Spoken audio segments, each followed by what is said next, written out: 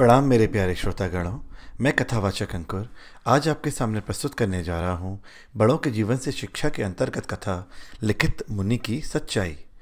शंख और लिखित नाम के दो मुनि थे, दोनों सगे भाई थे, दोनों अलग अलग आश्रम बनाकर रहते थे और भगवान का भजन करते थे।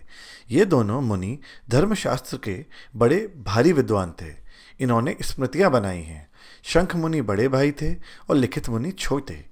एक बार लिखित मुनि अपने बड़े भाई शंख मुनि से मिलने उनके आश्रम में गए। शंख मुनि उस समय वन में गए थे। लिखित मुनि भूखे थे। उन्होंने अपने बड़े भाई के आश्रम के वृक्ष में से एक वृक्ष का पका हुआ फल तोड़ा और उसे खाने लगे। इतने में शंख मुनि वहाँ आए। अपने छोटे भाई को आया देखकर उन्हें कुछ प्रसन्नता तो हुई, किंतु लिखित मुनि के हाथ में फल देखकर उन्हें कुछ खेद भी हुआ। उन्होंने पूछा, लिखित? यह फल तुम्हें कहाँ मिला?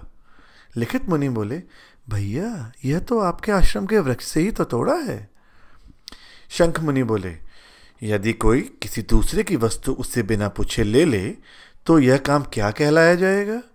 लिखित ने कहा, उसका यह काम तो चोरी कहलाएगा। शंख ने फिर से पूछा, कोई चोरी कर ले तो उसे क्या करना चाहिए? लिखित बोले, उसे राजा के पास जाकर अपना पाप बता देना चाहिए और पाप का जो धन्य मिले उसे भोग लेना चाहिए। दंड भोगने से पाप के दोष से शुद्ध हो जाता है। यदि वह इस लोक में पाप का दंड न भोग ले तो मरने पर यमराज के दूत उसे पकड़कर नरक में ले जाते हैं और बहुत दुख देते हैं। शंख मुनि ने कहा, तुमने मुझसे बिना पूछे मेरे आश्रम के वृक्ष से फल लेकर चोरी का पाप किया है। अब तुम राजा के पास जाकर इसका पाप का दंग ले लो और तभी यहाँ पर आना।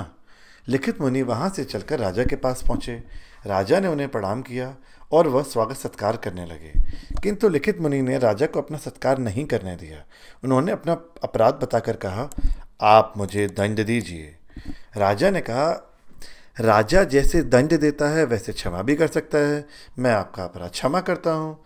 लिखित मुनि बोले धर्मशास्त्र के नियम मुनि लोग बनाते हैं। राजा को तो प्रजा से उनके नियमों का पालन कराना चाहिए। मैं तुमसे क्षमा लेने नहीं आया, दंड लेने आया हूँ।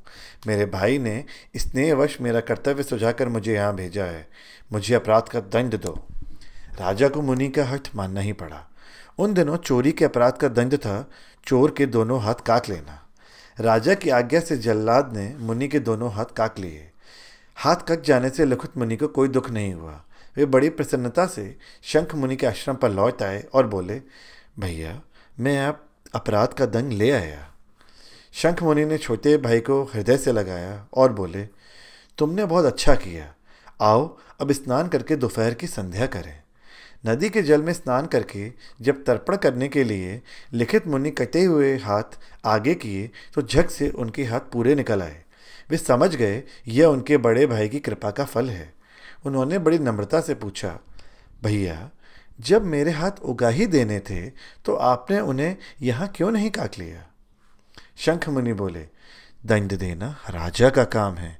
दूसरा कोई दंड दे तो उसे पाप होगा, लेकिन कृपा करना तो सदा ही श्रेष्ठ है। इसलिए तुम्हारे ऊपर कृपा करके मैंने तुम्हारे हाथ ठीक कर दिए। बिना पूछे किसी की भी कोई भी वस्तु लेना चोरी है।